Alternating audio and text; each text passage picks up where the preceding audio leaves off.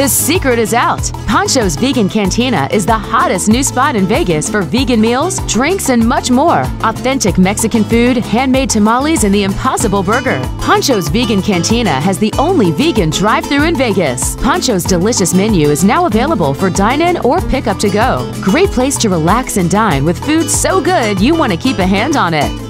LVAC members buy one, get one free. See store for details.